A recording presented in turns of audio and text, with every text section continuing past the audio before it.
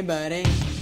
No matter where in the world you are joining us from, we welcome you to the Wrestling Compadres Slamcast right here on the Stream.tv. Very special guest, Bianca Belair, coming up later on in the show. Dale Rutledge sat down with her during the Mae Young Classic. But first things first, we have an incredible squad right here in studio. Let's get to it. We're at Compadres Show on Twitter and Instagram, Facebook.com slash Wrestling Compadres. I'm Johnny LaQuasto with you at Jay Quasto. That man right there is in the brand new feature film Dave Made a Maze in theaters on VOD. Find him everywhere at Scott Narver. He's Scotty Narver. Are you sure you're ready? You were bleeding the hard way before we started. I am. My thumb is bleeding. and I'm going through a move right now, and this wasn't even part of the move. This was opening a can of black beans. Opened a can of black beans and made myself bleed. All right. So well, it's going to be fun when you bleed in your computer, and then next week I might gonna get uh, congealed. I might get some color during the show. We'll see what happens. I hope so. Yeah, it's going to be a great time. Uh, and she's back again, due to popular demand because people love her. She's a trainee at Santino Brothers, the host of the Women Wrestling Friends podcast. Find her everywhere at Sarah the Rebel. She's Sarah the Rebel. It me. I actually cut my fingers open every time I eat SpaghettiOs to the point where I'm not allowed to eat SpaghettiOs anymore. Is that because you're opening the can with your fingers, or you're actually cutting yeah, I yourself just I with punch it Yeah, until it lets that's the best way to open food. SpaghettiOs. Yeah. So where do you cut? Like, I, that's a bad one. I got yeah, I bet good. that hurts. It- It'll just be everywhere, you know, kind of just. Well, you know who else is everywhere? Our special guest in studio.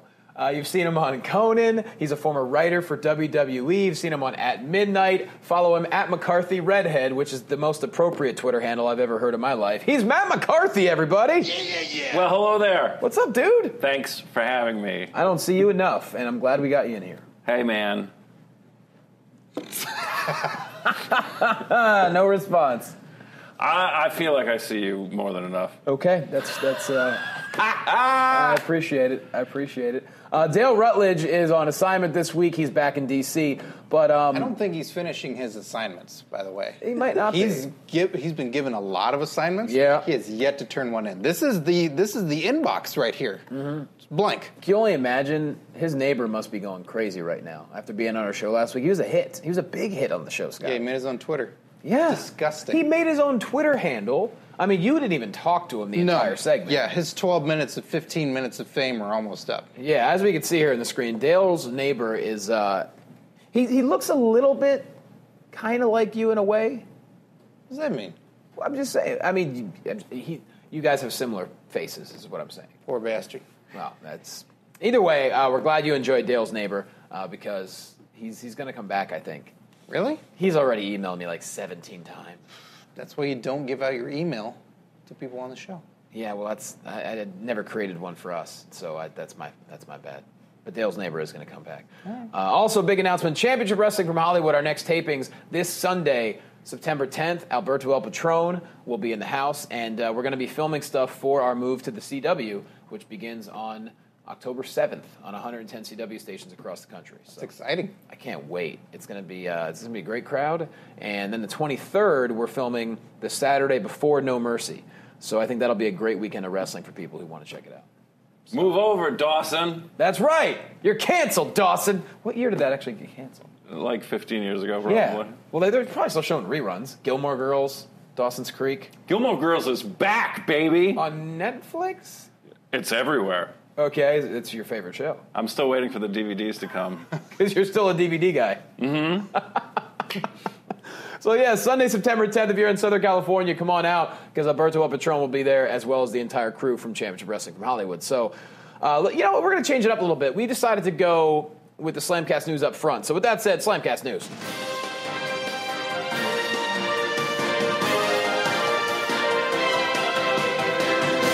All right, so last week, everybody, uh, there was a big incident at uh, Triple Mania regarding, you know, with Rosemary and Sexy Star. A lot of internet backlash. Sexy Star decided to respond uh, this week, and essentially, she said that she didn't know any of this went down. So she went backstage. No one was really talking about it. No one was tending to Rosemary. She was not complaining, and she said she didn't notice anything until the next day when the internet uh, was all over. Oh. Great. Solved. Yeah, don't think so. What? Uh, well, Impact is apparently going to talk all about it this week, Scotty. They are, yes. They've released a video on their YouTube page uh, teasing the backstage fallout that occurred during the event. What do you think about like Sexy Star's not part of the Impact roster, Right. so they're going to talk about this on the show. Yeah, I think they have to, right? First of all, just from a uh, getting people to watch your show point of view, right? That's kind of like cold-hearted to say, but you know, you want to get ahead of something that happens. Uh, but also because who's going to work with them if you have to worry that they're going to hire unsafe people? You know, that that is a concern. I definitely think they need to address it. I mean, there, there was so much backlash against her to where I, I don't think she's ever going to, uh, th- anytime recently, get hired, I don't think, by anybody. Well, unless they bring back Backlash and then, then that'd fight be at perfect. Backlash. That'd be perfect for her. Yeah. Maddie, what do you think about this? Because like when you were writer 2011, 2012, Mm-hmm. Twitter wasn't as big as it is now. I mean, everyone's don't hire her, and I. She says she's like I didn't know anything happened, Right, which is hard to believe. right. Uh, solution: change the mask. No one will know. There it is. Yep. Feo star. Genius. It's a good point. So She didn't notice anything was wrong when Rosemary's arm was hanging off of her body. Couldn't. I, she's undead. Rosemary's a zombie. yeah, She's possessed That's by a typical. demon. Same thing. Exactly. and the arm can't. I mean, the arm can hang. I Yes. Rosemary's arm can hang, yo. Yeah. So that happened. Uh, moving on, Corey Graves is replacing JBL on SmackDown Live. So basically, Corey Graves is going to be reunited with Byron Saxton, which everyone's Hallelujah. very Yeah. happy about that. So he's going to be on Raw and SmackDown Live, just doubling his workload. And our friend Nigel McGuinness, he is going to be on 205 Live and Main Event. So that's the, I don't know if it's a temporary fix or a permanent deal, but JBL stepped down this past week to be an ambassador for things. Yeah. Maggle, I gotta go and bass stuff. In Bermuda. Maggle, I gotta be an ambassador to my bank account, Maggle. I really want to get old and then help people in a beautiful tropical island. That's definitely one of my goals. Yeah. You could probably do that now if you really wanted No, to. no. No. Charities for old people. Got it. Fair enough. Um, so yeah, I- I'm excited to see Nigel on television more, and I think Corey being on SmackDown it only makes the show better. Yeah, him and Byron really had great chemistry, and they had a like a fun Heenan uh, monsoon thing going, and it was it was in the early stages. It needs to keep keep growing. So Yeah, because on Raw it's it's hard. The chemistry's not there. Because like with how so? well, would I mean you can't really make fun of Booker on commentary. Can't. And it's hurting. Corey. I Yeah. would. I mean, but this Corey's show a heel. Allow me to. Corey's a heel, but it's like you, he still can't really, you know. He tries, but Booker has to listen and acknowledge it. Sure. But he's busy making up words. Booker basically, I just always imagine him not at the commentary table, but sitting in a lawn chair at a barbecue, maybe holding a grape soda Mm-hmm. as he points to the children and makes his comments. And I think Corey is not at this same barbecue, and that is why they don't really have the barbecues. chemistry. Right. Yeah. He's at a Corey's probably at a cookout, not a barbecue. That's that's a fair. That's a pretty good explanation of it. But either way, uh, congrats to Nigel. Um, he's going to be on television more, so got a lot more work ahead of him. Uh, WWE. Speaking of being wow, speaking of being overworked, Raw is going to be live on Christmas and on New Year's Day this year. Did anyone right? Was there anyone who was pining for this? Knowing that people want to be with their families on Christmas. Isn't isn't that don't. literally the whole point of a Christmas Carol? That he, not even Ebenezer Scrooge will make the guy work on Christmas. Yeah, uh, that's a good. That's one of the points of it. Sure. That is one of the lines in Scrooge. no the one's getting. No the one's Bill getting. movie. Yeah, none of them are getting a goose on Christmas Day. It's like, who would schedule a live TV broadcast on Christmas? Only you, Frank. Only you, Vince. Hmm. Nobody wants to be with their family. My whole family's already on the road at TV anyway. Well, Yeah. that's true. Like people go out to the movies on that day. You know, after you open presents and you do stuff, you go, "All right, let's get the hell out of here. We gotta, mm-hmm. we gotta bolt or do something." And you know, if if you are a member of your family and you go, "I like wrestling. I'm gonna watch, watch wrestling right now," and everybody else goes, "I'm not watching that. I'm getting away from them." I did put my nephew in a Boston crab last Christmas Eve. okay. It's kind of the same thing, right? Well, do you think this was like a, a sponsors deal? Because if they do not do a live New Year's or Christmas show, that's two weeks in a row of lower ratings with reruns. Is that the reason behind it, or he was just like Money's the reason for everything. yeah, huh? Money's the reason the show's three hours. Oh God, yeah. The wrestlers don't want it. Question: Fans don't want it. When you wrote, were you Raw or SmackDown? I was both. Okay, so it was, When I was there, it was a much smaller team. and it was also not three hours. No, we would do like the specials. So like I was there for you know retro Raw or uh, Raw 1000, and then I think it was after Raw 1000 is when it just went to three hours. So like there would be days where we'd be like, okay, we have to come up with themes for the the three hour shows coming up. Wow. Yeah, and then and then it went from 11 segments to 16. And how much fun was that? It's really a lot of fun. I can tell you really want to elaborate on that. well, I'm, what do you want to know? Oh, just It's- how it's much a- of a pressure cooker is it? Well, at first it was like, oh, great, there's more segments for everybody on the roster. Mm-hmm. And then you run into, well, does this segment have enough star power? And then it becomes the debate of, well, if we don't put these guys on TV, how are they going to become stars? Right. You know, it's fascinating. It really is fascinating. It, it, it's suppo- booking pro wrestling is supposed to be simple. When it's at its best, it's simple. But there's so much to consider when doing it.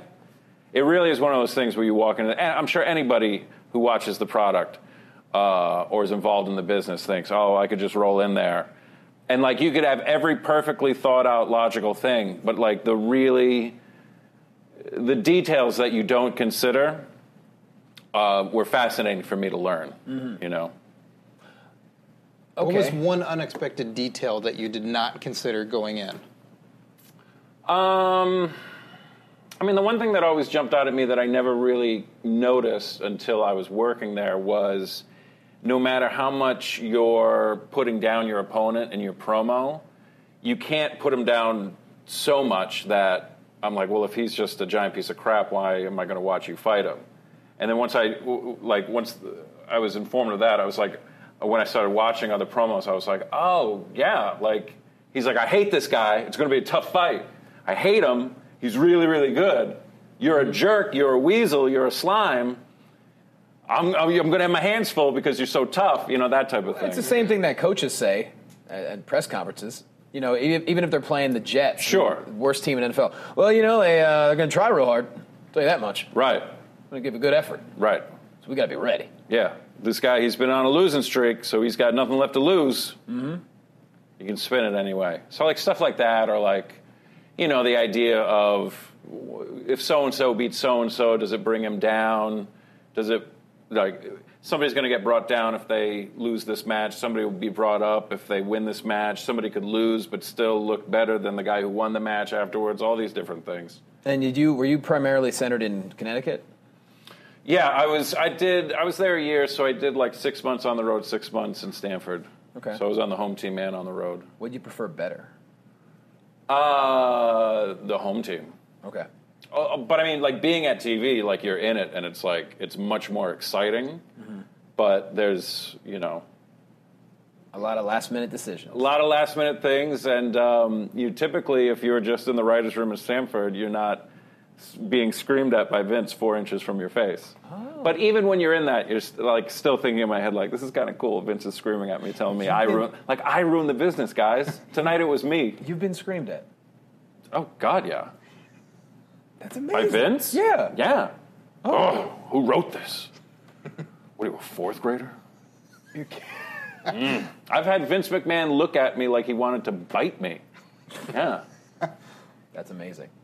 That's Uh, what access should be every year at WrestleMania. Oh, a booth where just where Vince Like you bites sit you, there, or just you write down one idea for wrestling, and Vince comes and reads it. oh God, it's the last thing we do. Well, Like, oh wow, that was 175 bucks, but it was totally worth it. I Yeah. mean, we all have bosses at different points in our life, so that was. Uh, Yeah, you get to. I, I like that. The, the pitching booth, Yeah. Ten cents. ten cents. Well, you know, gotta keep it reasonable. Ah, fifteen. Moving on. So the four horsewomen and the four horsewomen kind of squared off. Only there were three on each group. Uh, this happened during the Mae Young Classic this past week. I don't know what's going to happen with this, but they basically said anytime, any place, let's go. Now, from what I understand, Jessamyn has already been training in wrestling. Yeah, I actually did a seminar with her. There you go. Mm-hmm. Uh, Why'd you touch your face after you said it? Are you lying? Cocaine. Oh, that's it. Okay, mm. Anna. Ah! And but Ronda has not really been in the ring. So is this Uh, gonna she's been in an octagon, bro. That's true. Uh, Ronda was in the ring with The Rock at WrestleMania 31. she twisted Stephanie's arm. I know. Yeah. And Stephanie didn't go complaining about it to everybody, did She she? did not. She definitely did not. Sarah, I'm going to you here. so done. Is this ever coming to fruition? I'm nervous about it coming to fruition because, I mean, the truth is MMA and wrestling are, are different. And I think we've seen that in Shayna's matches in the Mae Young Classic. So I don't necessarily know that this makes either group of women look good if it does happen. So I don't know. I'm a pessimist. Yeah. I mean, is, is Roddy's wife? Uh, I don't actually know her name. She's training because she's at NXT all the time with him. Who? Woman right there. That one? Married to Roderick Yeah, Strong. that's the one I don't know. Yes. Okay. So maybe I don't she's even at know her name. Is that Um, a turkey on her shirt, though? Because that's really cute. It might be. I don't know. It's deflection, and then she breaks her arm. Either way, interesting segment. We'll see what happens. And lastly, this actually just Lashley. happened. Not Lashley. We'll talk about him later. All right. Scotty, Jeff Jarrett uh, has stepped down as basically the chief creative officer of Global Force Wrestling. Yeah, this broke uh, just before we started recording today. Yes. Um, there's not a whole lot about the story that has been come out uh, that has come out, but uh, GFW's put it out there, and this is uh, I don't know, I don't know what this is. When is GFW going to catch a break, guys? I know. Bums me out. Uh, Jeff Jarrett's been really good to us. He's been a guest on the show several times, Yeah. and has invited us with open arms down to Impact, and uh, it's been awesome. And I, it, it's sad news. I hope everybody's okay. I hope everybody's healthy and good. and the episodes have been really good lately, so Yeah, so I don't know. I don't know if Cornette's up to something. he might he's always up to something. Yeah, he shows up and then this happens. What is it about? All hell breaks loose All hell breaks in a loose. southern accent. Slapcast News.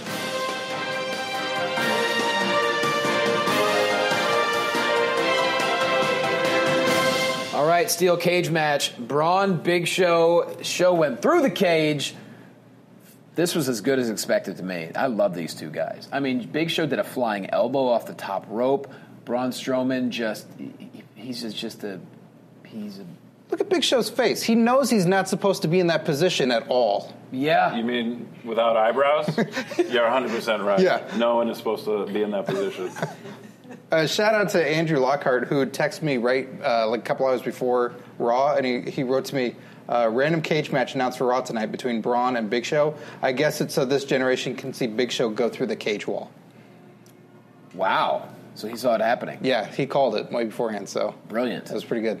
Yeah, Strowman won the match, but I mean, I guess Big Show, I believe he's having surgery or something. He's going to be out. You know what? Now that you mention it, this would be the perfect swan song for Big Show because that was his debut, throwing Steve Austin through the cage. Mm-hmm. Yeah.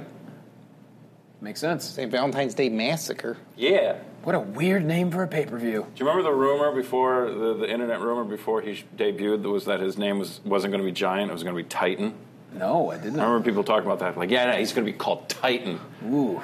And they uh, anybody that would tell you that would always throw it because of Titan Towers. it's Titan Sports. It's the parent company. I think I would have liked Titan. Titan. I, I just, Compared to Big Show, I mean, Big Show's been what, Big Show didn't name. bother me till the music started. Well, Music is never. the Titan. No. I've got a giant tattoo of a tiger. I got a favorite football team. I've got a vape in the size of a canoe. I'm driving a truck with a flatbed. It's a Nissan. And way to go, referee John Cone, for not falling out of the ring this week. Yeah, he should have followed and just jumped through the the open. He should have been cage. hanging on to the cage and just, "Whoa!" Not without me. he cuts a decent promo. Yeah, a good moment for John him. Cone. John Cone. There's a funny clip of they're playing. I don't know what the context is. It's something for the network or something where they're playing with like Rock'em Sock'em robots or something, mm-hmm. and it's you know Heath Slater and I think Sasha's there and somebody else, and all of a sudden John Cone shows up and he's like. Where the hell have you been? You told me to be on the on the Omni. He's like, no, no, the autocorrect changed it. I meant in the Omni. He's like, I was on the roof of the building, man. What? It's just the most random, hilarious thing I've ever seen. He swears in it. And what video is this? It's on YouTube. Put in put in like John Cone, like rage. And what? Who put it up? It's a it's it's from the network or something. Wow. It's from one of their weird, you know, we're hanging out playing games shows. I can't keep up. Yeah, there's so a much lot. content. First ever John Cone segment on the show. Really enjoyed it. Johnny Cone. Uh, women's titles now a fatal four way at No Mercy. Uh, we got Emma, we got Alexa Bliss, uh, we got Nia Jax, and of course we have Sasha Banks. Sarah, more intriguing to you now it's a fatal four way, or were you more into just Alexa taking on Sasha? Uh, I am interested in this because of Emma. I think you know everyone can see that Emma has a lot of skill, and she's not really getting interesting story behind it. So it's like, all right, cool, let's let's throw her in the mix. Nia, I'm always kind of mm, about. So um, we, I don't know, we'll see. I, I'm kind of interested in it because we've already seen them, and I feel like we're going to see Alexa and Sasha 30 more times. So sure, let's mix it up a little bit. Yeah. I still have a hard time believing Nia Jax when she speaks. Yep. Oh my God, I'm gonna kill you. We're going to the mall, and I'm gonna suplex you. Said it perfectly. I think it's great that Emma's in there. Uh, I think it's, I think it needs to be, th- there needs to be more competitors, and I, I think it's awesome that she, for as little amount of time as she's had on the mic and on TV, to be involved, that she is now, uh, she's now worked her way in there. When normally, s- like the segments that she's gotten with Mickey and all that, Who's that? Oh. Answer it right now. How can all notifications be turned off and you make a noise? Try That's pulling fine. that. in We're the just gonna production keep going. meeting Look, with we're Vince. friends here. It's not a big deal. what would Vince do? Phone's ringing right now. Give me the give me the phone. Oh, like a teacher? Mm. No, she's busy getting fired. There it is. Well, see you guys. Get my little hat and my little bag. Oh, she'll have plenty of time to return your call on the unemployment line. Katie J, when I said I fired her, I told her friend first. Get out of my room. Get out of my arena. Oh, T Rex head. Hmm. So anyway, go ahead. Read read read the next segment. Hmm. You were saying, Scotty? Totally overwritten. Emma, she needs to be in there, and she's the snake in the grass in this. Like she, She started could- the revolution. That's right, and she's the one who could uh, could be leading it forward. She might be the one that takes it. You know, She's freezing though all the time. Have you noticed? those lips. Her lips are so blue. It's Raynaud's phenomenon. That's what it's called. She's freezing. Yeah. those eyes, those cold blue eyes. It would be something if she pulled off the win, though, because I mean that that's one way to get her from, like you said, what to oh, okay, now she's going to be featured every single week. Do you remember when she like knocked out Becky Lynch, and like it was supposed to be a two count, but like Becky was just knocked goofy, so it was actually a three.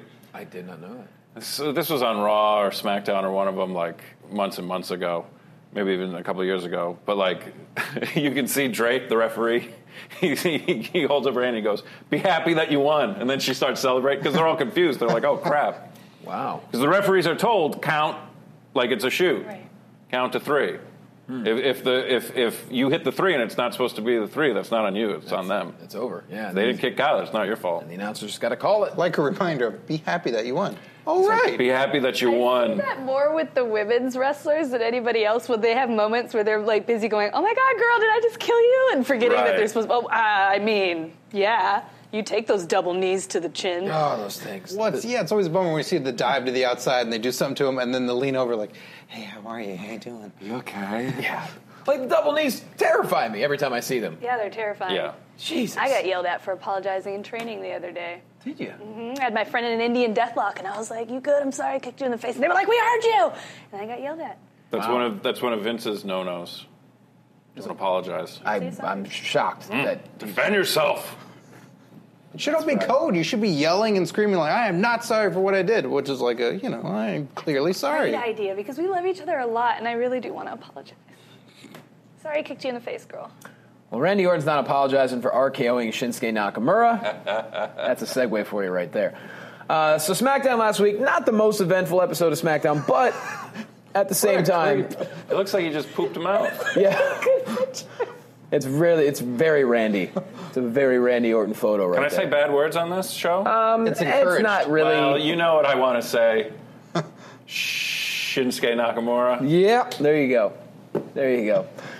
So is he back in the title picture now? Randy? He never left. Yeah, Randy is the title picture. Yeah, I guess. Oh, we got to protect Randy. What are we doing with Randy?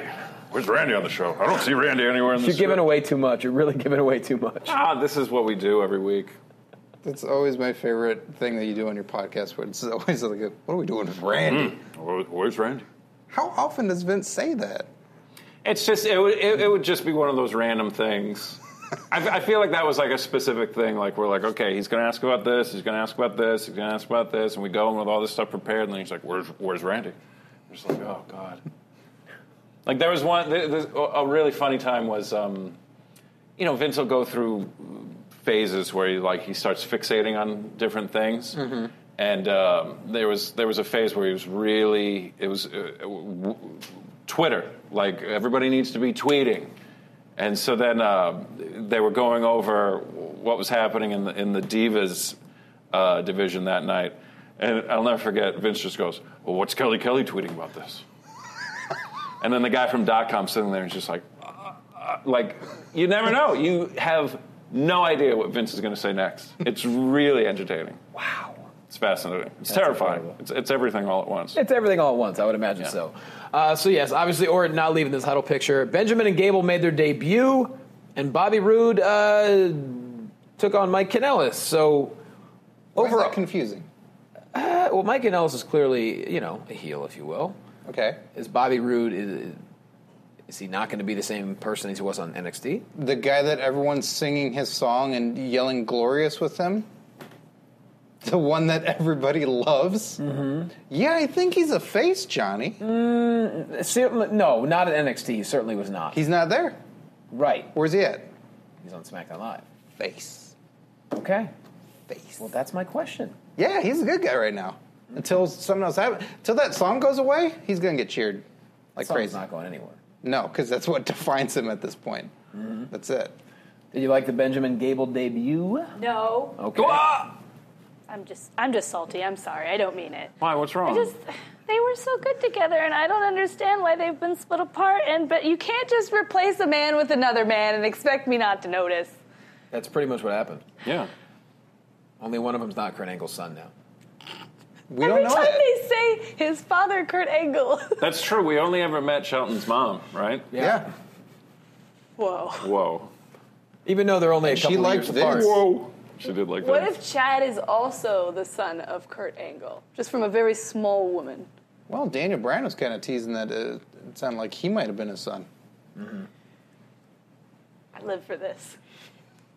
That's what that's that's the best part in all of wrestling when everyone's related Yes. to each other. You got mm-hmm. Undertaker, Kane. It was the biggest bummer to me when Edge and Christian were no longer related. Oh. they were brothers. Yeah. That was the deal. and then at one point, they're Gangrel kidnapped Edge's brother, Christian, and Edge was trying to save him, and then he wound up joining the Brood instead. Yeah, and then years later, they're, They're just best Canadians. friends. Yep. They're They were- just Canadians. they were Like just they, friends. They removed their relationship, but Yeah. we still believe it's the Brothers of Destruction. It's like Happy Days. They used to have an older brother, Chuck. Mm-hmm. Then all of a sudden, he just was written out of history. Same thing in Family Matters. Did they have another the, the one daughter disappeared after season one, Wow. never to be heard from again. The Cosby Show, they added uh, an older sister. They did. Yeah, Sandra was not in like the first season.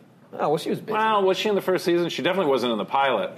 And Bill Cosby, uh, excuse me, Dr. Huxtable, Hug, Huggable? Huggable. that one. Dr. Huggable. Dr. Sure. Huggable. Dr. Druggable. Far from it. Far from it. He even mentions, you know, why did we have. She says to him, like, why did we have four kids? So it's like Theo, Rudy, Vanessa, and uh, Theo. Lisa Bonet. Got it. I said Theo. I know. So she says, why did we have four children? And- Denise. Denise. Another, a different world. Mm-hmm. And, and he says, because we didn't want to have five. And then by episode two, they have five kids, one's at college. Wow. Explain that to me. Wow. Conspiracy. Sitcom conspiracies, everybody. But yes, I do love when everyone's related. Like they need to come back to Sasha at some point and be like, "You're Eddie Guerrero's grandniece" or something. I don't know. Find a way. Make it work. Wrestling. You're welcome. I like That's- Eddie Guerrero. What's his daughter's name? I don't recall anymore. She was good. She is good. I, I don't recall her name right now. I, I mean, she's still good. I meant on those first couple episodes of NXT. Sure. Uh, Mae Young Classic, guys. This, God, there's so much. A lot of episodes. Four more happened this past week, and now we're down to the final four. We got, uh, I'm sorry, we're down to the final two. Yep. We're down to Shayna Baszler taking on Down to the Kairi Sane. finals. The finals are happening. Uh, Next week. Yeah. Live. At SmackDown like Live. 10, I think, or late at night. I, I In don't- Vegas. SmackDown? Uh, I'm not sure at what point it's going to air, but it's at the next week's SmackDown tape, and I'm going with uh, Warzeka. are you going to Vegas? Okay. Mm-hmm. Cool. Can I come? Uh, probably. Cool. See you there.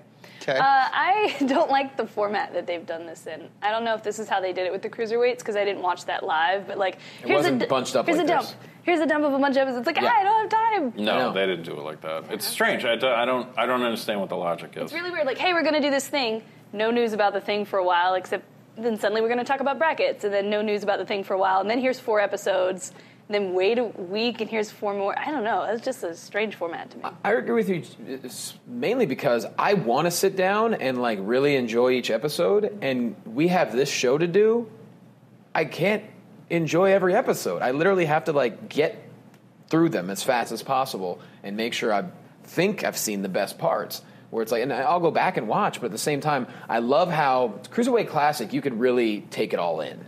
They, they, you know, they spaced it out very well. Like NXT, it's one hour a week. You could really get into it and take your time.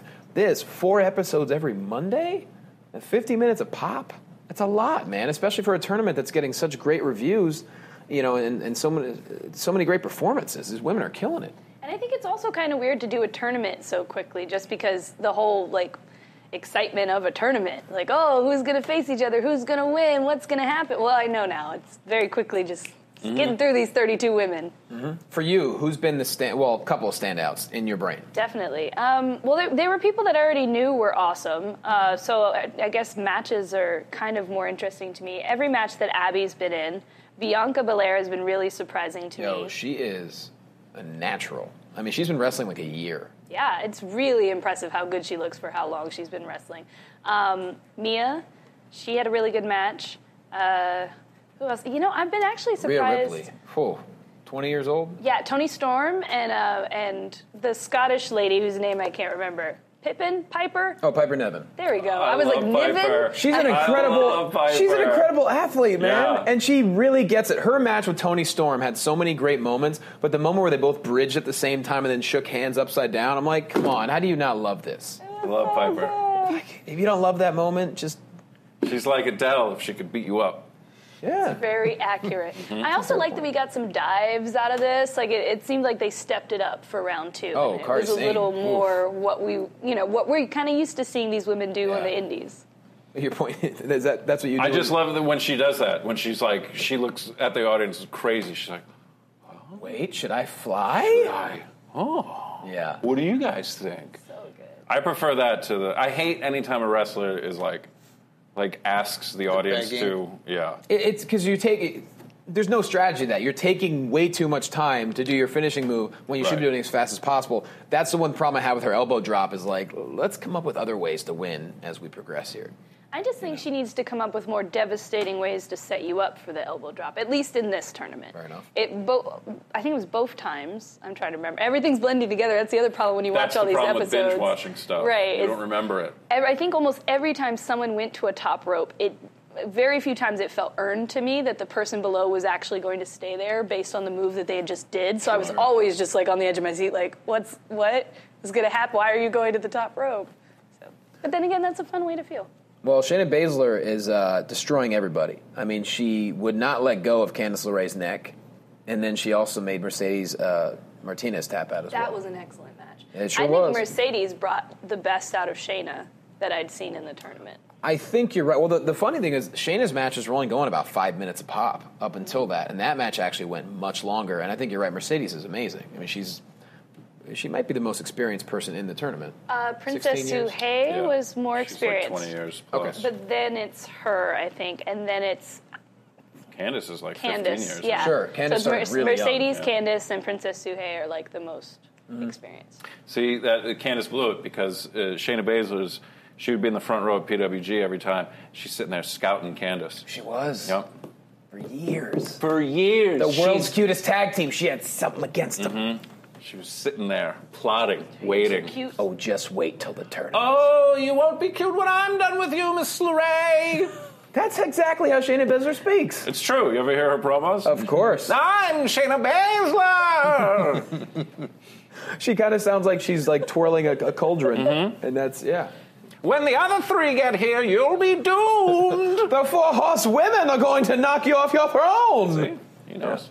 I, I met her before. I, that's exactly how she spoke. You should get a tiny hat like Toni Storm has. I'd be okay with it. Johnny Storm. I love. And then I, oh, I tip the hat to people. Tip the hat, and then underneath is a mouse with a smaller hat, and an umbrella and a suitcase. Oh, that'd be amazing. um, so finals. Who do you got? Uh, Kairi. Okay, Maddie. Um, honestly, uh, this is the.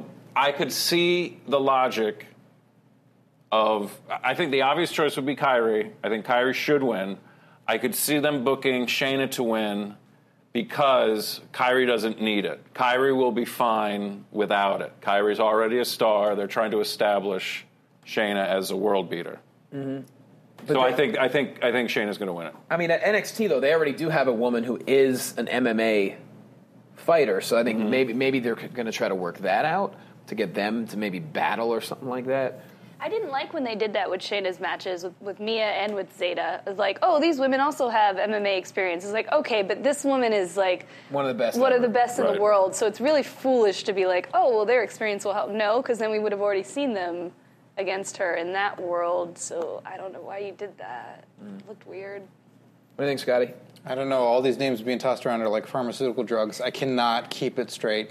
Describe Okay. the person you think will win. I don't know who's left. There's an adorable She's Asian lady. lady. with a pirate Yeah. hat, and then Yeah. there's a The flying mean, elbow. grumpy Yeah. Oh, flying elbow MMA lady. Flying elbow lady. lady. Yeah, that's what I'm going with. I'm going there. I want to see the. I want to see the finals and just see it.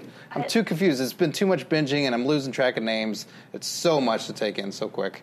Last week on our show, Vince said that uh, Kairi takes the, the steering wheel of her boat with her so nobody steals the boat when it's parked outside the arena. Uh, when JBL was like, "She's let me help you out, folks. She's a sailor or, or something like that." Oh They keep y- yachting. They- Yachting. They're like, she's interested in yachting. She's Right. what it's like. we don't care why she's dressed com- like a pirate. She was a But then- competitive yachter, I believe. Right. When Yes. he says this, and then Lita goes, "She's a pirate." Yeah. this angry Thank voice. you, Lita. it is one of those things when they're, oh God, you got to explain why she's dressed like that. People are going to be like, why is she dressed like that?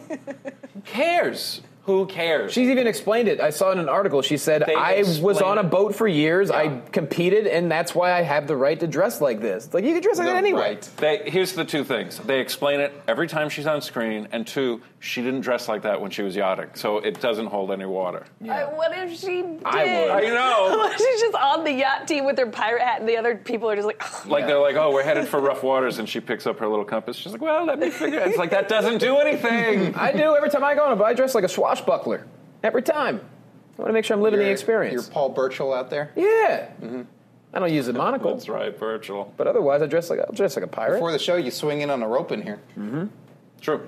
Yep. then Crash. Cut, cut your figure out of the Feet first, sheet. and then I slice my thumb. That's Yeah, how like, I ah, glue in here. oh, hey. The ropes are hard. That's how I slice my thumb. They're very ropes. tough ropes. Yeah, you got to get a callus. Jeez, I'll tell you that much. Moving on, we're going to bring back an older segment, only now it's on green screen and on video. So every month we like to choose who we thought had the best month in the business. And so right now uh, it's a best of the month of what they do. So let's all just take it away.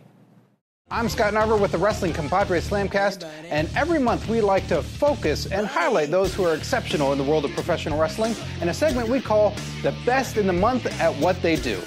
And my pick for the best of the month at what they do is Eli Drake. Eli Drake is the new global champion at GFW, winning the gauntlet for gold on Impact Wrestling, beating 19 other competitors at number two and lasting in the ring for over one hour. This past week, Eli even knocked out his competition, vying for a number one contendership for his title by beating the tag team of Johnny Impact and Eddie Edwards. In August, Eli Drake was an unstoppable force in the ring and especially on the mic, outshining everyone else in all other companies. That's why Eli Drake is my pick for best in the month at what they do.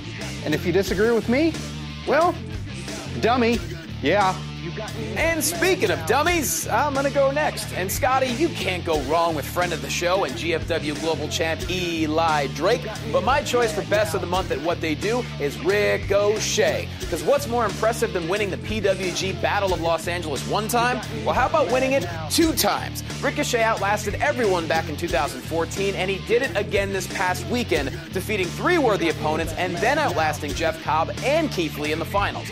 Add to the fact that almost any time anyone mentions the most exciting people to watch in the squared circle, it's very rare that this man is not mentioned. So my best of the month at what they do, whether you call him a king or a puma, is Ricochet.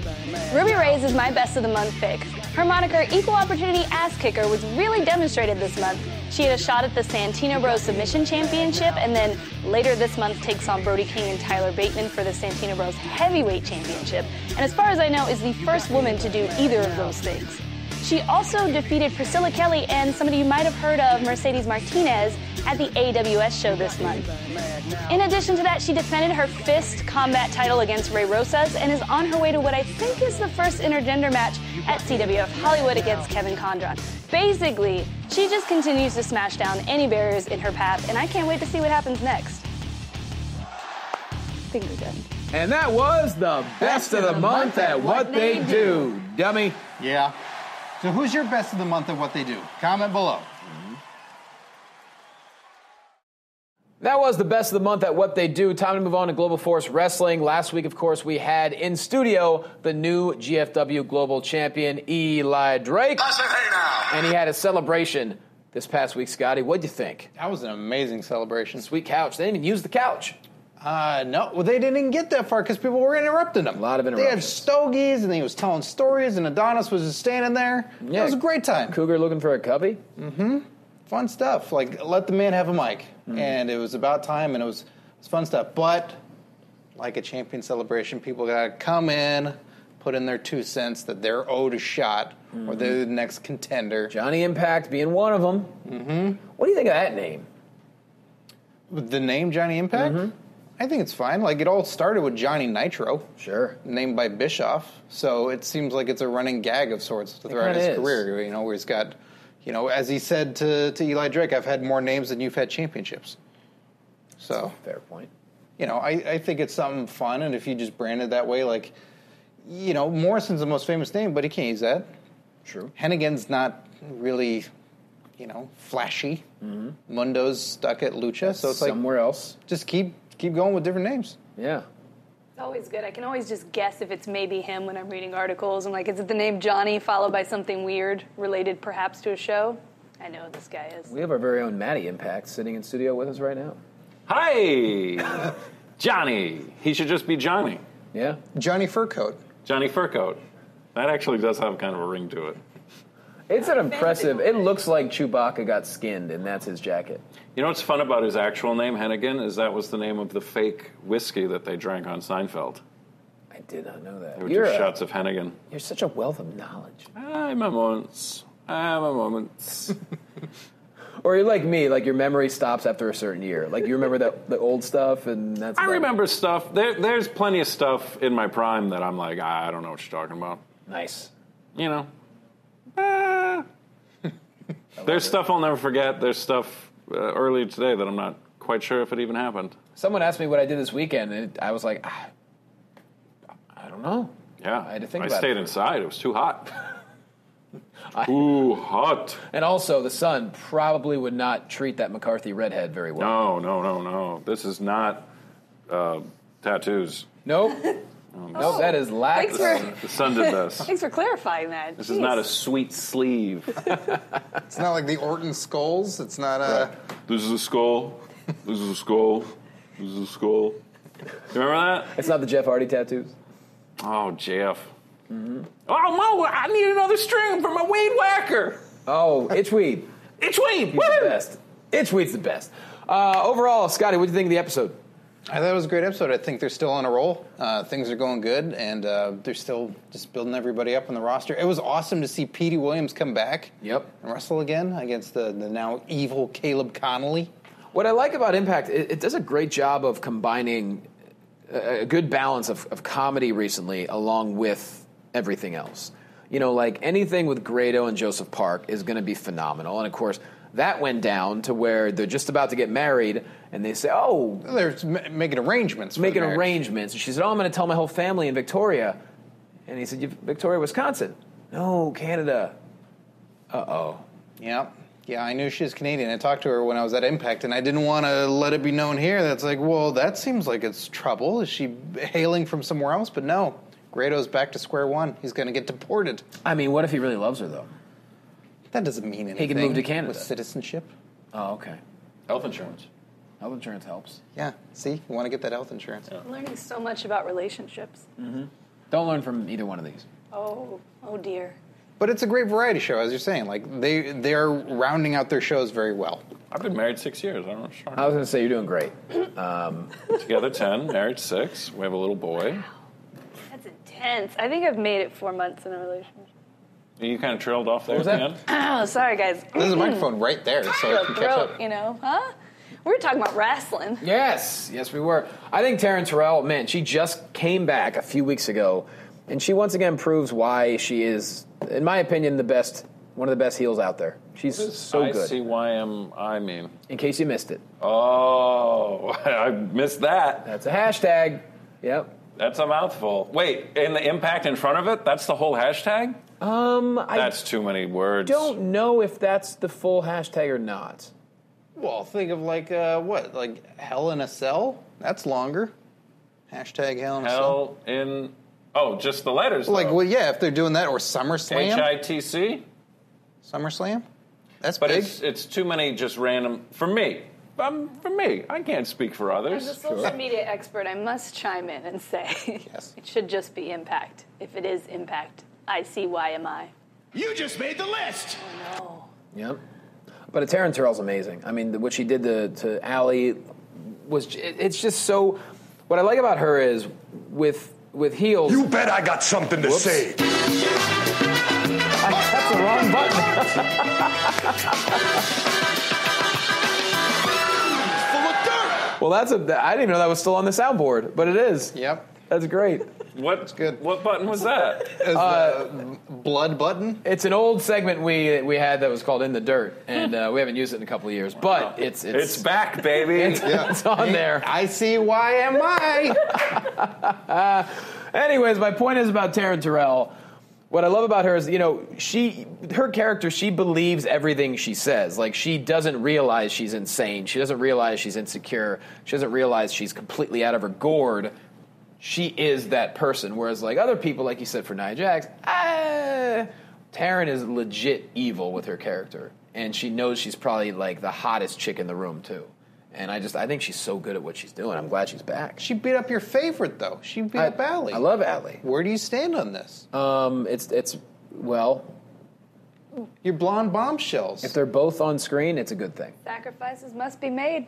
But I like that's the best part is Allie is so good at being the lovable underdog, and then you have Taryn Terrell who's just the evil queen. It's perfect. The, them on screen together, it just makes sense. And we'll see if it continues there. But obviously, it's going to lead towards Gail Kim. But I can't say enough good things about Taryn Terrell because she's she's really great at it. She's gotten so good even after being gone for almost two years. yeah, she was out of the picture too. She was, I believe, retired as well. She said she left uh, well over a year and a half ago. Mm-hmm. Had a baby again, a second baby, and, and she's back and just beating people up. Yeah. Soon that baby will show up and start beating people up. Uh oh. Cycle of life. As long as it isn't a hand. But we're not going to see Maxwell. Not yet. WWE was smart. It signed signed that kid. He's already. He should be in NXT right now. He needs a network show. Yeah, he definitely does. Uh, so yeah, that pretty much covers this week. Upcoming, we're going to have Eli Drake take on Matt Sydal for the GFW Global Championship. Mm-hmm. That's going to be a hell of a good. match. Uh, and closing out, what is going on with American Top Team? It's very Is messy. this, is this another cauldron? Yes, it's very cauldrony. Two stir? There, I don't know who all the dudes are. Uh, I really don't know the They're, guy. they're the top team of America, is what they are. Sure, yeah. Explain I, the other guy. I don't know. It's the it's you know they're getting a lot of press for Lashley. They're getting a lot of press for American Top Team. You know, Are and- they Bellator fighters? What's their deal? Well, no. Uh, teams in MMA like can fight anywhere. Okay. It's just a training team. You know, it's a it's essentially a school. Got it. Like a Yeah. camp? Yeah, camp. So it's a Go to fight camp. camp. Right. They can fight in UFC, they can fight Bellator, they can fight wherever. They've got individual fighters have deals. And they're all part of a team.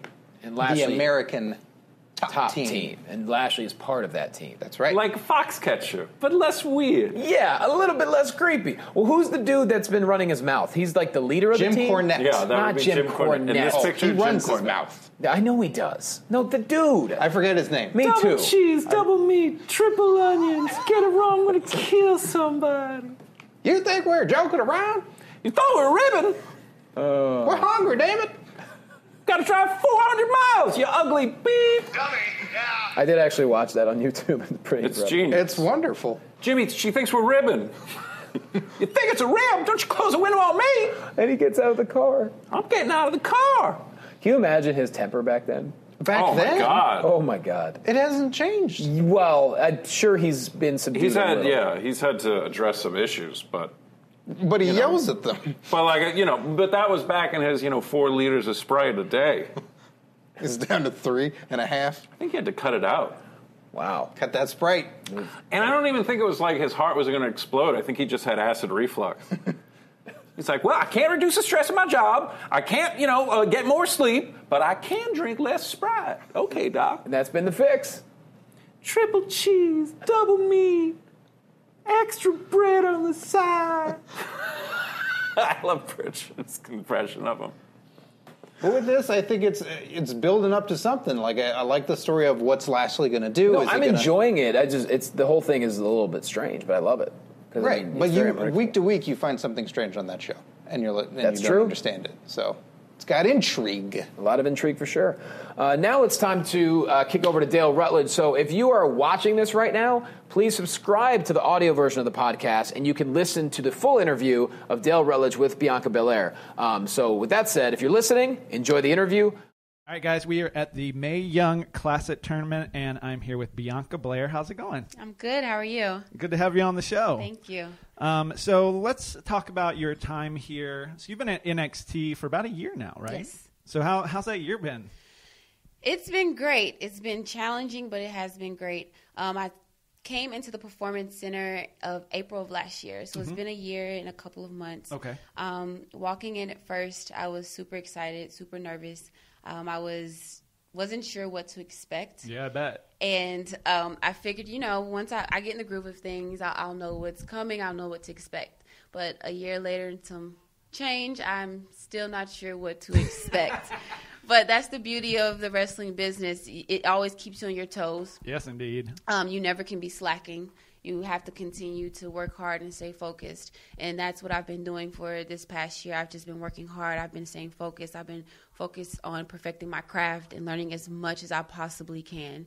And it's been great. It's been um, hard. It's been some ups and downs. I got injured um, Oh, back in December. Okay. I sprained my MCL, so Ooh. I didn't come back until around the end of March.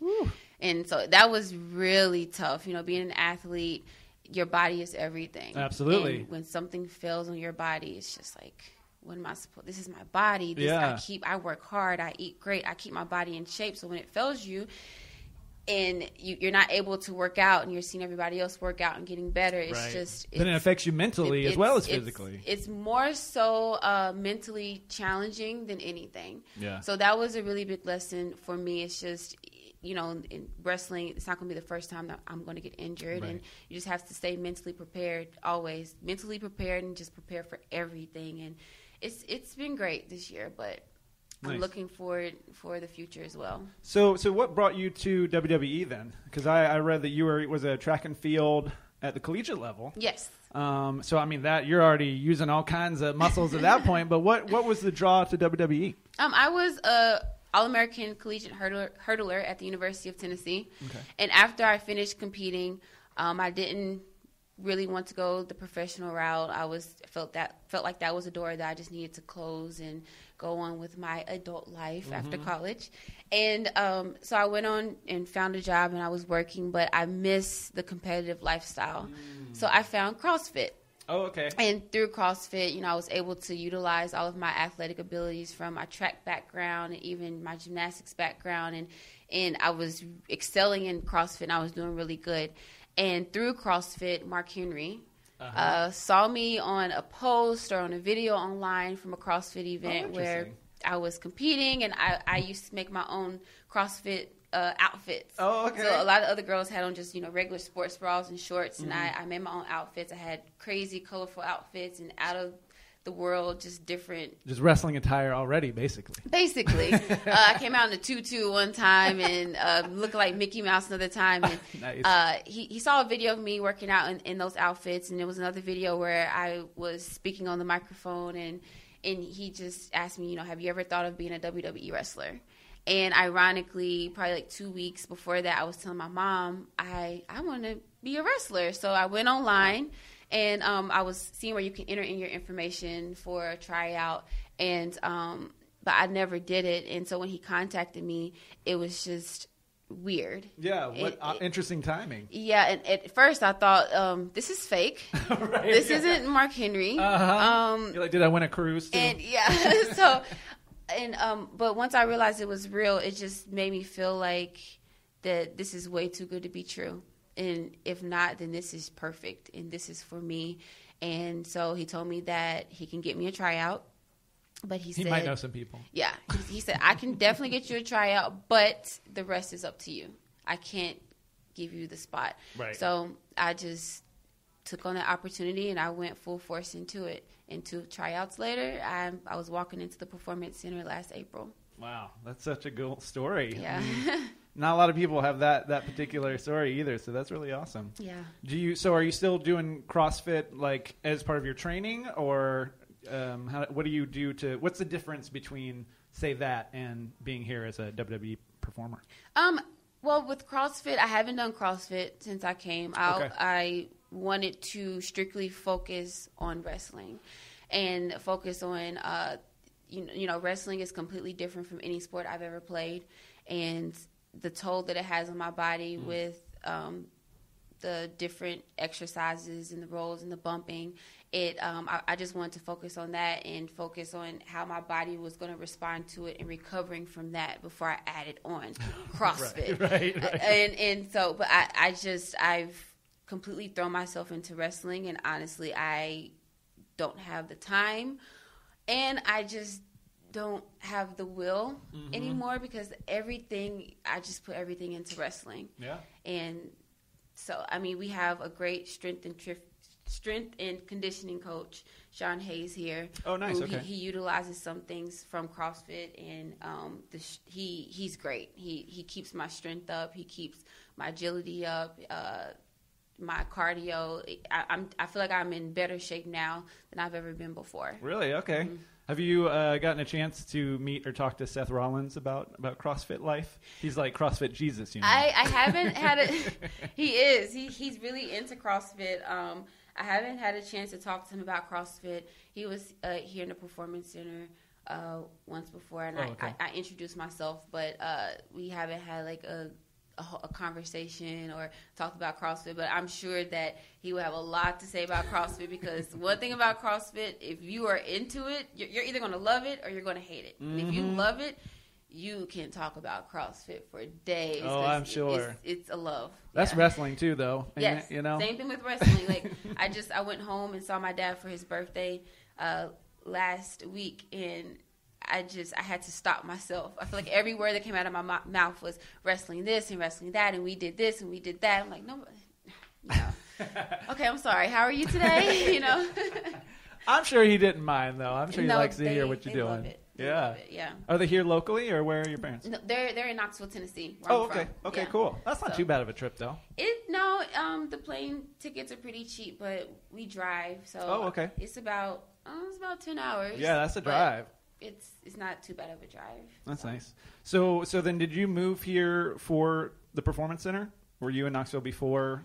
I was actually in, in um I was living in Atlanta, Georgia. Oh, I was okay. working for a flavor company there. Nice. And um I had been living there for about a year and a half and I uh moved from Atlanta to Orlando. Okay, Uh, to come and work out in the performance center be a, and to be a part of NXT. that's not too bad of a change. Atlanta's Atlanta's pretty chill. I mean, it has its Yeah, Yeah, it's, Has it's its good, things? but I, I like Orlando. Yeah, I do. I really do like Orlando. Are you a Disney fan at all? I am, but I've I've been once. Since Just I've once? Been In a just year? once. Only once. We don't have a lot of You are dedicated. You are dedicated. Yeah. Now, so then, what is life in Orlando like? I read that uh, now you, you just recently been engaged. Is that right? Yes. Nice. So that and that kind of came with with uh, the WWE as well. Yes. yes. Um, what's that been like? It's been great. Um, I met my fiance. Um, I actually didn't meet him. I mean, we're both employed by NXT, but Mhm.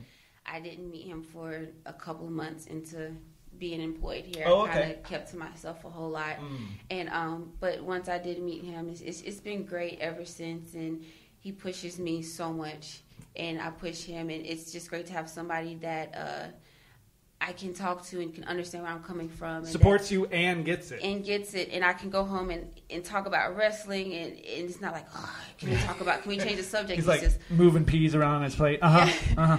yeah. So it, it, you know, it, it's been good. He's, I think he's been a great asset to uh, everything that's going on in my ch- short time here at NXT and uh, all the opportunities that I'm getting. Like he supports me, and it, it's it's been great. And just being able to have a social life outside of wrestling and um, you know we we have our little things that we do on Sundays on, on our only day off, and we have our little rituals that we do, and it's it's been good. It's it's it's it's easy. It's more easy for me to have a social life with someone who's a wrestler as well because they understand like I'm tired today or Yeah. my body hurts today, and just like I understand. Like, oh, I know. Look So- at this bruise. Yeah, yeah.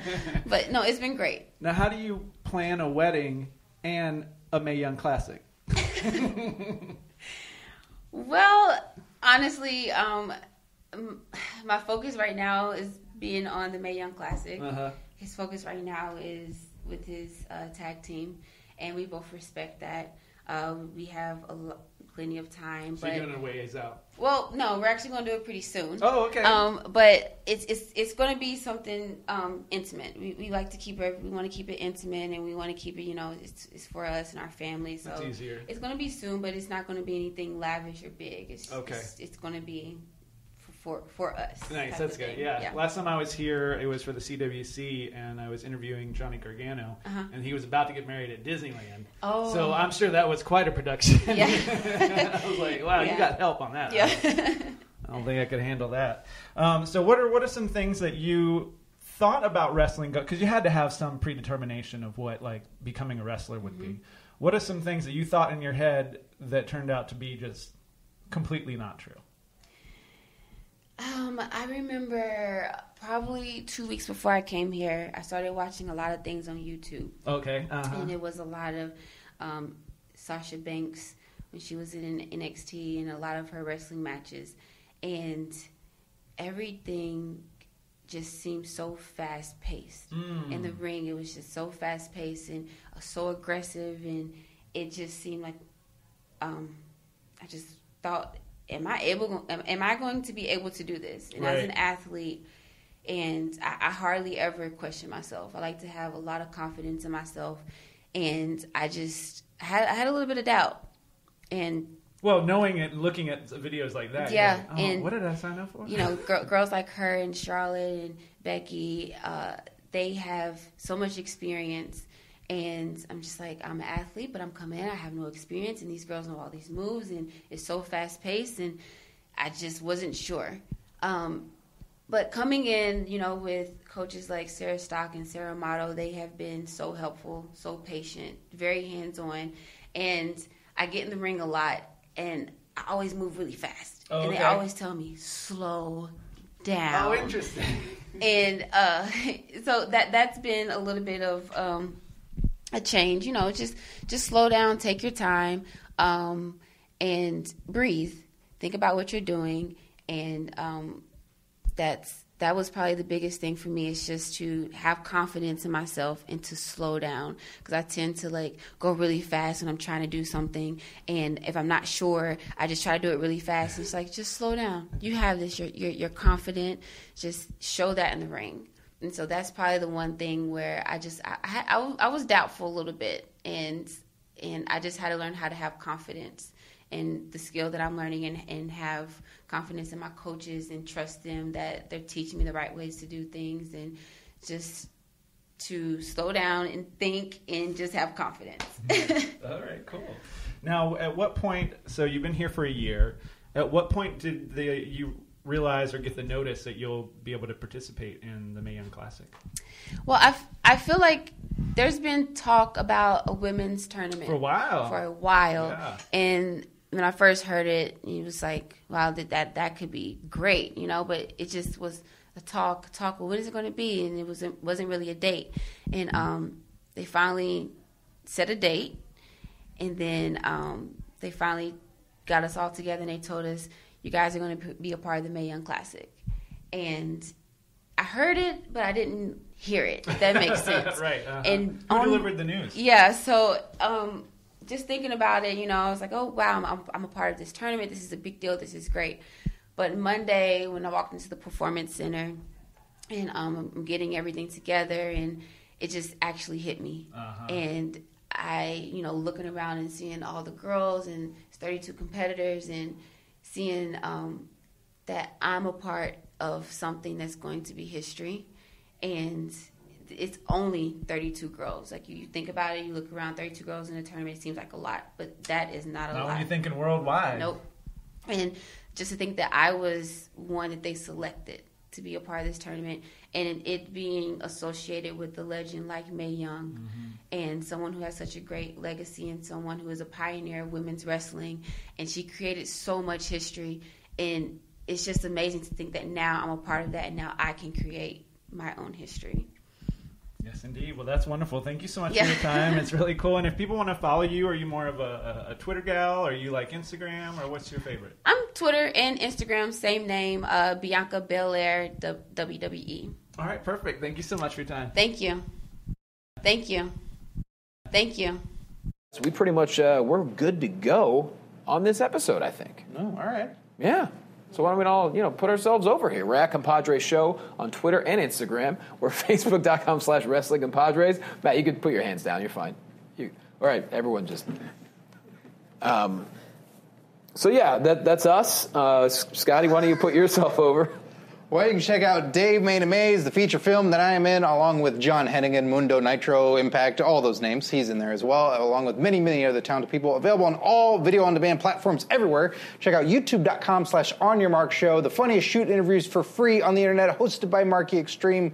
Uh, this past week was Freak Show Wrestling profile on there, and then you're going to see the in ring debut of Marky Extreme with Gadoff Hitler. So What? that is a must see. You're kidding me. I'm not kidding you. Is Skeeter involved? Skeeter is involved. Oh boy. Yeah. So Cannot wait. Matt McCarthy. Hey! Uh, all forms of social media at McCarthy Redhead, Twitter, Instagram. Can't believe there's only one McCarthy redhead out there. I'm the one. It's amazing.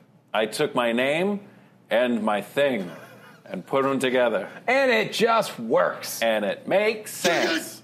Go to thisismattmccarthy.com, go to wewatchwrestlingpodcast.com, and uh, that's it for me, kids. He's out. Peace! Sarah the Rebel. Wow, you're gonna make me go after that? I'm sorry, you got to follow it. You got to do your I best. I don't have any glasses or a hat. You have eyeglasses. Uh, they, all right, listen up, kiddos. Sarah the Rebel everywhere. Sarah's an H because that's just how you spell Sarah. It's very important to me. You can find me on Women Wrestling Friends podcast where I get a bunch of women to come talk to me about wrestling because we all like wrestling. Look it up.